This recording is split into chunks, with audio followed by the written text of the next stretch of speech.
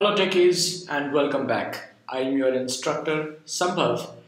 This is the first part of SAS character functions. In the previous few videos we have studied numeric function. So if you have not gone through my previous videos you can go and check in the list and you can study numeric functions as well. So please don't forget to subscribe my channel and hit the bell icon to get the updates on my latest video.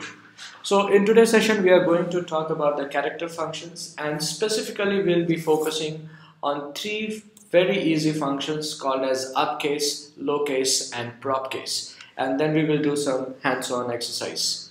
Uh, so by this time you would have understood what your uppercase will do, lowercase will do and propcase will do. As I told you it is pretty easy. So guys, these are the list of character functions which we are going to discuss in the coming sessions. And in today's session, we'll talk about upcase, lowercase, propcase. Other functions which is very commonly used are substring length, length cat, cat x, cat s, scan, left, right, trim, strip. So many of them are there. So it is going to be a very interesting sessions studying character functions. So let's start with upcase and uppercase. Now, uppercase, as you are very much aware of it, it is mainly used to convert the characters into uppercase. Uppercase function in SAS is used to convert your characters into uppercase. And the syntax is pretty easy. You give the variable name which is going to store the result and you use the function uppercase and then you can specify the argument. So here arguments can be your character value or character variable. Similarly, lowercase it converts the characters into lowercase. And as uh, this is also the syntax which is very much similar to your uppercase which is variable name which will to store the result. And you can use lowercase and argument. Guys here I have written uppercase the function the lowercase the function in all in uppercase. It is not mandatory for you to write them in uppercase because as we know that SAS is not case sensitive except for the string values and similarly, prop case, it will convert everything into proper case. Proper case means first alphabet in uppercase of the words and rest all in small. First alphabet in uppercase and rest all in small. Let's do some practical examples to understand this. So let's let me create a data set called as case underscore 1 and let me give a value a is equal to let's say T E C H I E P E N T U R E S Techie Ventures, right? Now, well, that's the name of my company, guys.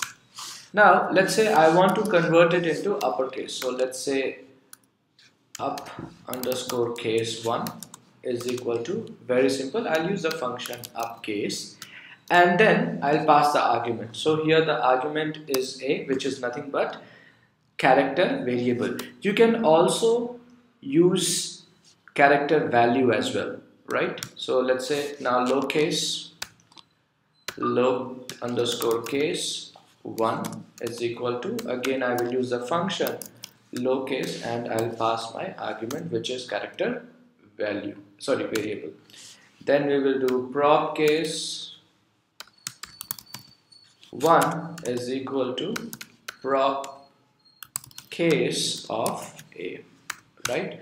Uh, guys you can also pass a character value here as an argument. I am using uh, uh, uh character variables but you can also use character uh, values. Let's say for example uh, up underscore case 2 is equal to let's say uppercase uppercase of let's say I want to write a value let's say test T-E-S-T, right? Similarly, I can also have pro, uh, let's try lowercase as well. Low underscore case 2 is equal to lowercase of, uh, let's say techie, T-E-C-H-I-E, right? Let's execute the program to see the result. Similarly, you can also try for proper case, which is prop case as well. Proc print data is equal to case sorry case underscore one. Let's execute this code and see the result. See? Techie ventures which was basically of mixed few alphabets in uppercase few alphabets in lowercase so uppercase has converted all the alphabets into uppercase, lowercase has converted everything into lowercase and propcase as you can see the first alphabet is in uppercase and rest all are in small case. So that is what a propcase will do. First alphabet in uppercase and rest of them in lowercase. Uh, similarly, uh, uh, upcase sorry this should be upcase. So you might have uh, you might remember that uh, here I have given an example where we are passing argument as a character value so which has been converted into uppercase and this is your lowercase right? Now guys I have created another data set for us to use. So let's say this is students right? So let me execute this code and show you the result. So Let's assume that this is my student dataset which has got three variables name, subject and English. Let's apply uh, our functions, character functions which we have studied just now on this particular dataset. Let's assume that I want all the name to be in uppercase, all the subject 1 to be in lowercase and all the subject to be in proper case. Now let's see how can we do this. So let's say uh, we will give uppercase underscore 1 is equal to similarly we'll specify the function and then we'll pass the variable name dollar. And then for lowercase underscore 1 is equal to we will give lowercase. And since we want to convert all the subject 1 into lowercase so we will specify subject 1 and finally let's convert subject 2 to proper case. So let's give prop case underscore 1 is equal to prop case of subject 2 right?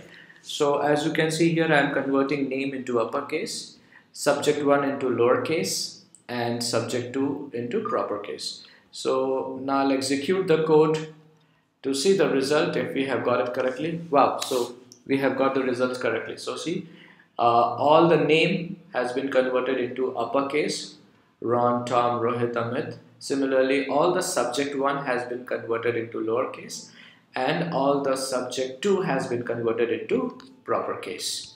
Right? So that is all for today guys. We have discussed uppercase, propcase, lowercase. If you want the data sets and codes, please leave your email ID in the comment section. I will mail you the codes and the data set for you to practice. You can also leave your feedback so that I can improve on my videos and please don't forget to subscribe my channel. Let me know the list of topics you want to study in the coming sessions so that I can create those videos for you. Thank you so much. Have a wonderful day ahead.